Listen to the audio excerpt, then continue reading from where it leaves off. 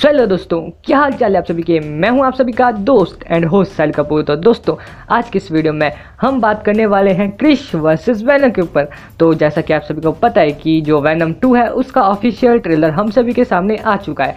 तो उस ट्रेलर को देखने के बाद मेरे मन में एक शंका उत्पन्न हुई कि क्या जो क्रिश है वो वैनम को बीट कर सकता है या फिर वैनम क्रिश को बीट कर सकता है तो अगर आपके मन में भी ये डाउट है ये शंका है तो इसको क्लियर करने के लिए वीडियो में एंड तक ज़रूर बन रहना so now without wasting time let's get started Can I be your superhero?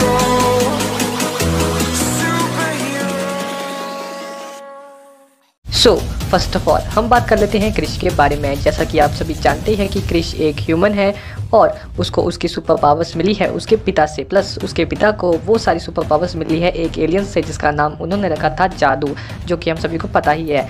और क्रिश के पास जो सुपर पावर्स है, वो इस प्रकार से है।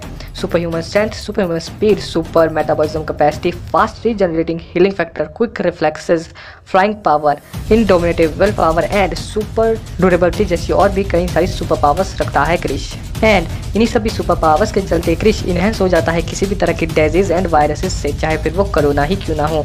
वो अपनी सुपर पावर्स के चलते कभी भी बूढ़ा हो ही नहीं सकता क्रिश, किसी भी बैटल को काफ़ी ज़्यादा लंबे समय तक लड़ सकता है। वो बिना थके और बिना रुके उसकी सहन शक्ति भी काफ़ी ज़्यादा है और इसका बेस्ट एग्ज़ाम्पल हमें देखने को मिला था। जब क्रिश एक टूटी इमारत को उठाता तो है ही प्लस साथ ही में वो काल के अटैक्स को भी झेल लेता है और काल ने तो उसके पेट में यार सरिया ही घुसा दिया था, पर फिर भी क्रिश टिका रहा और अंत में काल को हरा दिया और उसको मार ही दिया।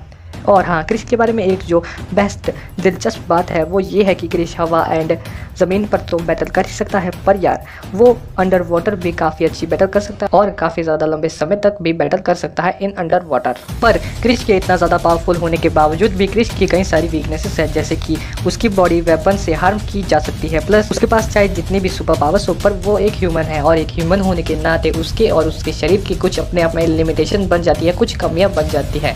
जिसकी वजह से कोई भी उसे हरा सकता है। मैं यहाँ कोई भी मतलब कोई लुचा टुचा नहीं, पर कोई भी सुपर विलन उसे आसानी से हरा सकता है या फिर उसका कोई दमदार ओपोनेंट वेनम की फ़र्स्ट अपीयरेंस हमें देखने को मिली थी द अमेजिंग स्पाइडरमैन की इशू नंबर 298 में। एंड अब वैनम की सोलो मूवी आने के बाद वैनम की पॉपुलैरिटी और भी ज़्यादा बढ़ चुकी है। वेनम बेसिकली एक सिम्बियोट है और उसे अपने आप को और भी ज़्यादा पावरफुल बनाने के लिए एक होस्ट की ज़रूरत पड़ती है। फॉर एग्ज़ाम्पल स्पाइडरमैन या फिर अपना एडी ब्रॉक पर इसमें इंटरेस्टिंग बात तो ये है कि वैनम के होस्ट के पास जो सारी सुपर पावर्स होती है, वो वैनम के पास भी रह जाती है लाइफ टाइम के लिए, चाहे फिर उसका होस्ट उसे छोड़ भी क्यों ना दे। एंड इसका सबसे अच्छा एग्ज़ाम्पल है स्पाइडरमैन जो कि वेनम को छोड़ देता है, पर यार वेनम के पास उसकी सारी एबिलिटीज आ जाती है। अब बात करते हैं वेनम की पावर्स एंड एबिलिटीज के बारे में। सो वेनम के पास है सुपर डाइजेशन जिसके चलते कि वेनम कुछ भी खाकर पचा लेगा। उसके पास ऑक्सीजन फिल्ट्रेशन की पावर भी है, जिसके चलते वो अपने होस्ट को किसी भी तरह की एनवायरनमेंट में ज़िंदा रख सकता है। उसके पास स्पाइडरमैन की सारी एबिलिटीज भी है, क्योंकि स्पाइडरमैन भी तो उसका होस्ट रह चुका है एक टाइम पे। वेनम अपनी बॉडी की हेल्प से कई सारे वेपन्स को क्रिएट भी कर सकता है। उसके मुँह या फिर उसकी जीप से जो सलाइवा निकलता है, वो भी काफ़ी ज़्यादा एसिडिक होता है, यानी कि वेनम की सिर्फ़ एक ही बाइट आपको मारने के लिए काफ़ी है। इन सब के अलावा वैनम के पास फास्ट जनरेटिंग हीलिंग फैक्टर भी है और उसकी स्पीड भी काफ़ी ज़्यादा है।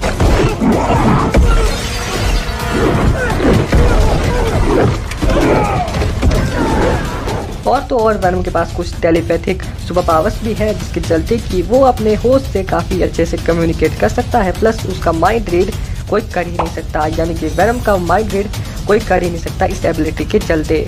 इतना ही नहीं वेनम किसी भी तरह के जीव को या फिर किसी भी तरह के सुपर हीरो को अपना होस्ट बनाने का दम रखता है। प्लस उसने एक बार गोस्ट राइडर की पेनिस्टेयर को भी डॉच कर लिया था। एंड गोस्ट राइडर की पेनिस्टेयर को डॉच कर पाना मेरे भाई किसी के लिए भी इम्पॉसिबल है। पर यार वेनम ये कर गया।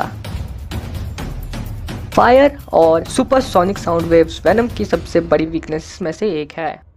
सो so, अब बात करते हैं कंक्लूजन की यानी कि अपनी बैटल की। तो जैसा कि हम सभी को पता है कि जो अपना क्रिश है, मैंने आप सभी को एक्सप्लेन भी कर दिया कि वो बस एक नॉर्मल ह्यूमन ही है बट उसके पास कई सारी ऐसी सुपर पावर्स है जिनकी वजह से वो सुपर हीरो बन चुका है। बट उसकी बॉडी अभी भी एक ह्यूमन की है, जिसकी वजह से उसकी कई सारी वीकनेसेस बन जाती है, जैसे कि उसे कई सारे वेपन से हार्म किया जा सकता है, बहुत ही ईजिली उसे हार्म किया जा सकता है। जैसे आप उसे गन से बुलेट से मार दो उसको हार्म किया जा सकता है डैमेज उसको लगता है उसका, और वो जल्दी हील भी नहीं कर पाता।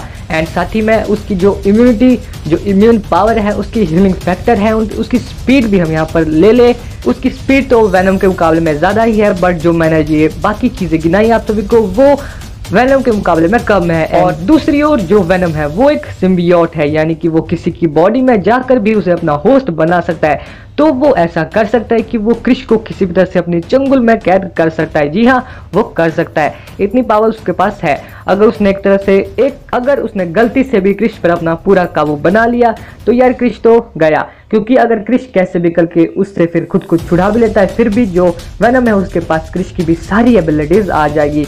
तो ऑब्वियसली यार जो आज की हमारी ये बैटल है, मेरे हिसाब से यहाँ पर जो अपना वैनम है, उसके जीतने के चांसेस ज़्यादा है। आपके हिसाब से क्या है? आप मुझे कमेंट बॉक्स में बता देना मेरे हिसाब मेरे हिसाब से तो यहाँ पर वैनम ही जीतेगा।